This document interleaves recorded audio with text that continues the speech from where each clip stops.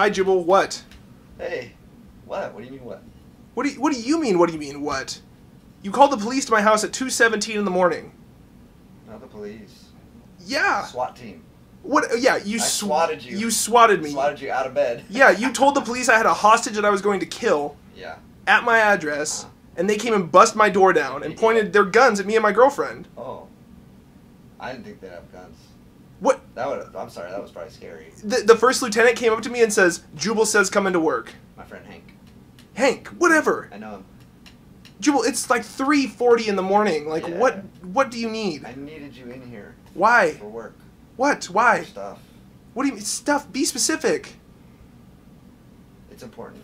What is? I wouldn't wake you up this early if it wasn't important. What is important? I can't sleep, so I came in here, and I can't find my other drumstick. I'm gonna go sleep in my car till work starts.